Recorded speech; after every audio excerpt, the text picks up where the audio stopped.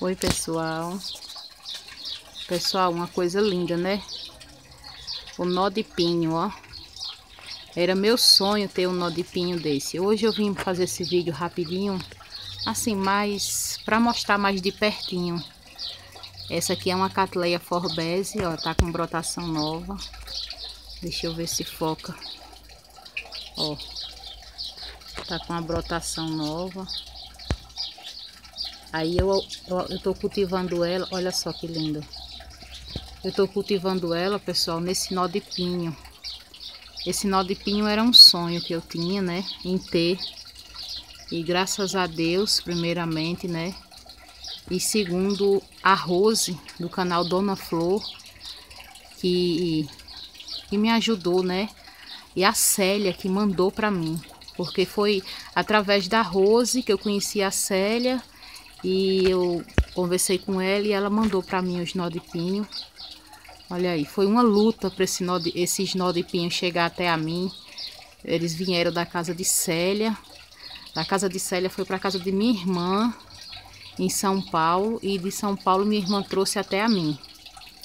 Né? A gente preferiu fazer assim por causa do frete, né? Porque se fosse para Célia mandar para mim, direto da, da casa dela para cá, ia ficar muito caro o frete, porque os nó de pinho ele pesa bastante. Pra vocês terem uma ideia, quatro nó de pinho pesou 8,5 kg.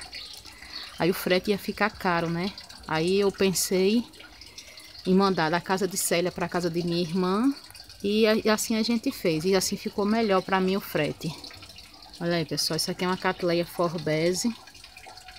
Ó, Aí eu amarrei ela aqui no nó de pinho com um pouco de esfagno, bem amarrada, bem presa, que é para que a planta se sinta segura e solte brotação rapidinho, ó. E, e raiz, ó, bem aqui, ó. Ela vai brotar. Então, pessoal, vim mostrar para vocês o cultivo, né, dessa Catleia forbese em um nó de pinho. Agora imagine, pessoal, quando esse, essas brotação começar a subir por aqui, ó, tomar esse nó de pinho todo, quando florir o espetáculo que não vai ser. Eu mesmo eu sou apaixonada por essas coisas assim da natureza. Eu tenho umas sapucaia que a Rose mandou para mim, que eu tô esperando umas plantas pequenas para poder eu plantar. Porque a sapucaia é menor, eu tenho é, quando eu comprar, né, umas plantas é, de um porte menor para me plantar. Mas olha aí que coisa linda.